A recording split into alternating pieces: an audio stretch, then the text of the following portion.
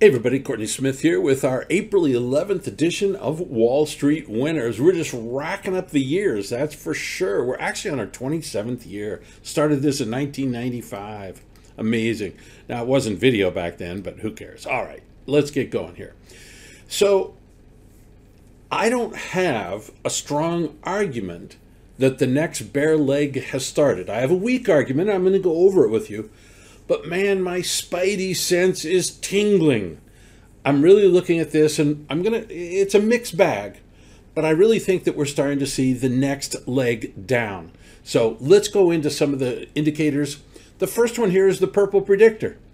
The on balance volume, purple predictor is the on balance volume, and look how much weaker it is than the price action.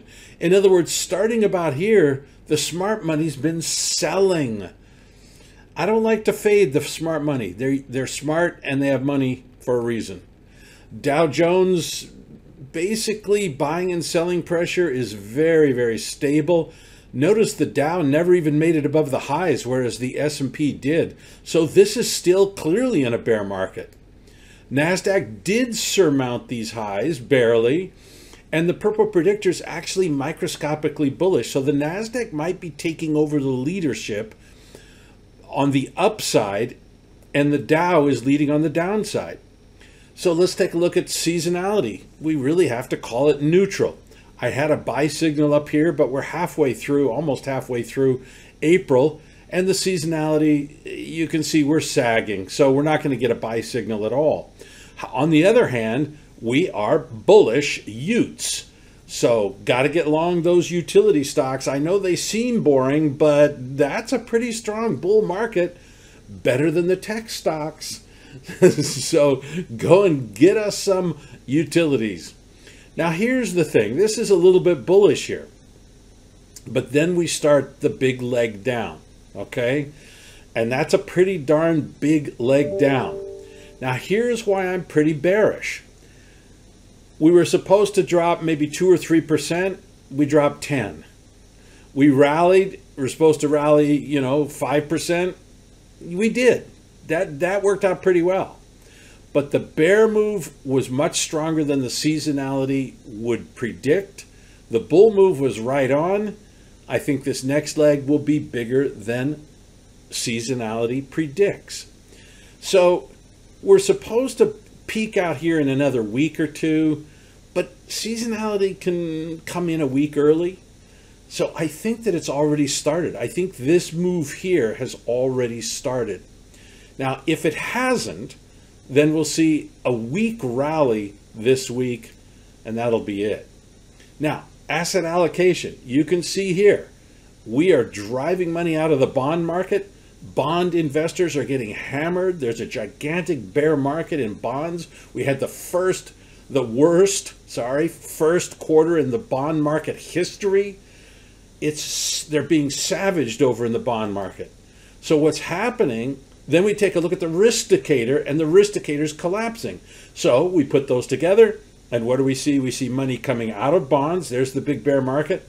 And they're going into things like the utilities or consumer staples. In other words, they're going into defensive, low risk stocks. Now remember, see what you're doing while you're watching Wall Street Winners is to get this kind of three-dimensional view of the market to understand what's really going on underlying the headlines. Headlines, by the time you see the headline, by the time I see the headline, it's not news anymore. I'm showing you what's really going on. Global shares also weak. Now, let's stop here for just a second there's two yield curves that people watch. Twos tens, which is the difference between the two year yield and the 10 year yield. And then there is the three month 10 year.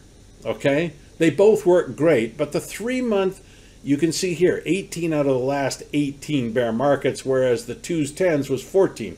Uh, 14 is pretty darn good. Okay? So I'm happy with that the Fed, but we're not going to get a three month 10 year signal for quite some time. And the reason is the Fed's not going to raise interest rates to 3% in the next year. They might, it's possible, but they're lagging. Nonetheless, twos, tens with an excellent track record is negative. So that would tell us that we're going to have a bear market in spring of next year, March, April of next year. But I think it's going to happen sooner than that. It may be happening right now. Now, this signal gives about a one year lead time. So that could be uh, that could be January. January is usually a weak month. February is a weak month. Uh, you know, there's some possibilities here. So we're going to have a bear market. That's a that's almost a done deal. Okay, we can never say it's a done deal, but it's pretty much a, a, a done deal. So the only question we're looking at is when and how much. We have a bear leg that I think we started last week, and I think it's going to carry. I think we're going to just follow the normal seasonality, and the bigger down move will be in the fall. So let's watch this very, very closely. We need to be defensive for sure. Bonds, big, big bear market. Look at that. See you later. Bye bye. They're going to zero.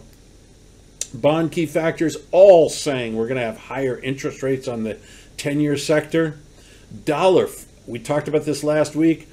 Rectangle formation broke out as predicted because the previous move into the consolidation was a bull market. Therefore, it should break out to the upside. But unfortunately, here we have we have a rectangle formation here in gold. It should break to the upside, but if the dollar's breaking to the upside, that would normally mean that gold would break to the downside.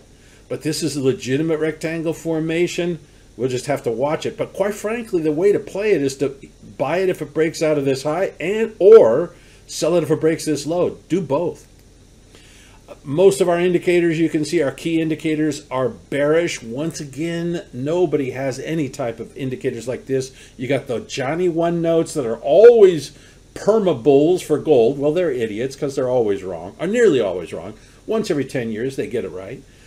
And then you have other people that don't trade gold because they don't really know anything about it. So you're, you're in the right place. Okay, crude oil. Very weak high, and we're now starting to challenge this low.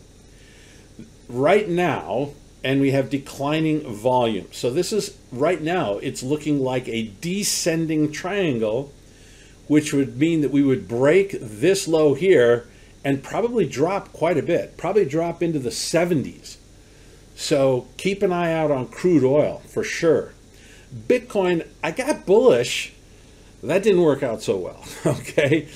But I think still overall you got to be bullish.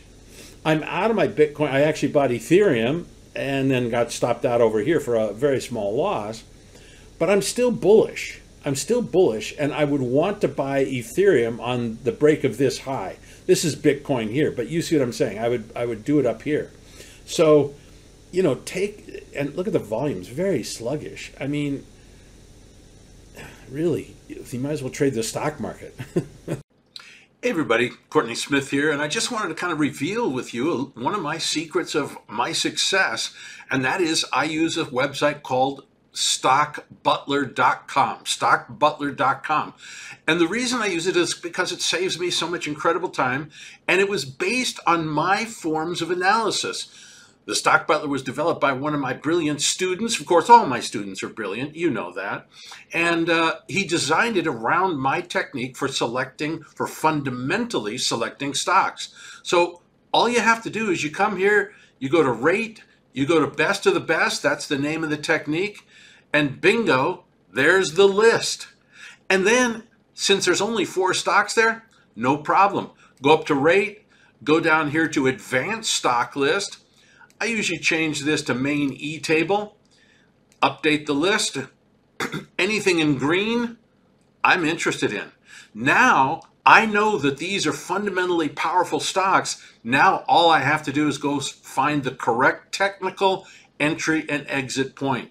So, Stock Butler saves me a tremendous amount of time, keeps me focused on only the best of the best stocks instead of wasting my time on other garbage. All right, everybody, we'll see you later.